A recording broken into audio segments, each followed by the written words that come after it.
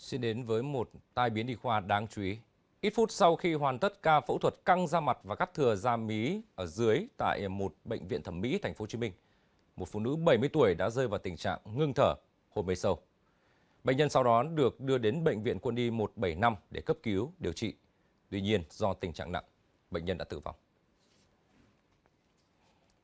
Theo thông tin ban đầu vào chiều ngày 13 tháng 3, bệnh nhân đến một bệnh viện thẩm mỹ trên địa bàn thành phố Hồ Chí Minh để thực hiện phẫu thuật căng da mặt, cổ và phẫu thuật thừa da bi dưới. 18 giờ cùng ngày sau khi ca mổ hoàn tất, bệnh nhân bất ngờ xuất hiện triệu chứng bị kích thích, chi giác lơ mơ, rồi lâm dần vào tình trạng ngưng thở, huyết áp không đo được.